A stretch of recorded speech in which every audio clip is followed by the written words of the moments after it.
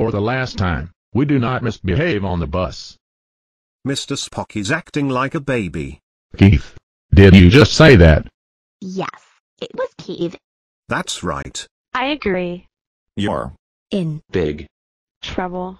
now. Keith. Keith, get over here. I am throwing you off the bus. Oh crud. Get over here now. Keith how dare you get blamed on the bus. That's it. You're grounded, grounded, grounded, grounded, grounded, grounded, grounded, grounded grounded for one, two, four, five, six, five, four, four, three, four, five, six, seven, eight, seven, six, five, six, seven, eight, seven, six, five, six, seven, six, five, four, three, four, three, two, one, two, three, two, three, four, five, four, five, six, seven. Yes. Now go to your room now.